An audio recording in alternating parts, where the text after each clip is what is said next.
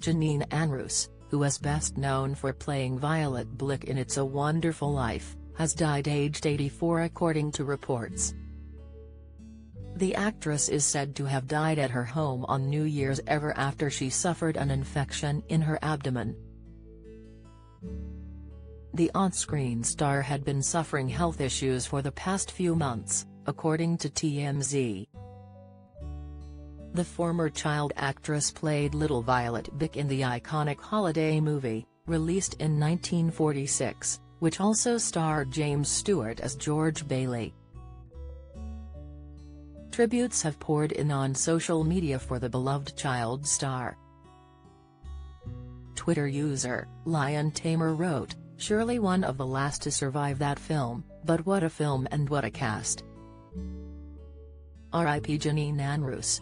Sheila penned, R.I.P. Jeanine Ann Roose, Little Violet. My favorite Christmas movie, every time you hear a bell ring, an angel gets its wings. R.I.P., Violet, Butterfly commented.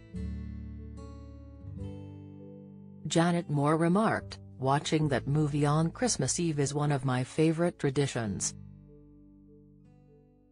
R.I.P. Violet.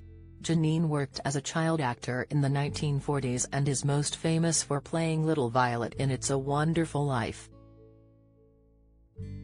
The 1946 Christmas film is based on the novel The Greatest Gift by Philip Van Doren Stern.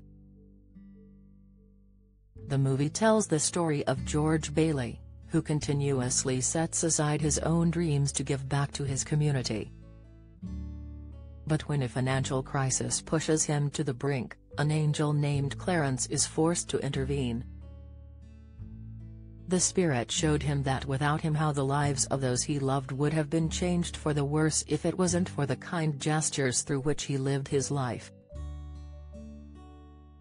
Matt Baker can't hide his joy after inclusion in New Year's Honor's latest Miley Cyrus suffers major wardrobe malfunction in TV special pictures BBC's Rachel Burden bids farewell to brilliant co-star Twitter, Jeanine's first acting role was in the Jack Benny program when she was just 8 years old. She also had radio appearances, including in the Lux Radio Theatre production of I Remember Mama, with her only film role being in It's a Wonderful Life. The on-screen star also had TV appearances in The Fitch Bandwagon and the Phil Harris Alice Faye Show. The actress decided to not continue with her acting career as an adult but instead enrolled at UCLA and went on to become a psychoanalyst. However, Jeanine looked back at her time on It's a Wonderful Life with fond memories. She previously said, It's a Wonderful Life was the only movie that I was in and it been an amazing lifetime experience to have been in such a collectively meaningful picture. It became clear that my desire was specifically to help others who were struggling with finding meaning in their life, not unlike Clarence in the movie who helps George see the meaning of his life. In her personal life, Jeanine married Eugene Richard Auger in 1964.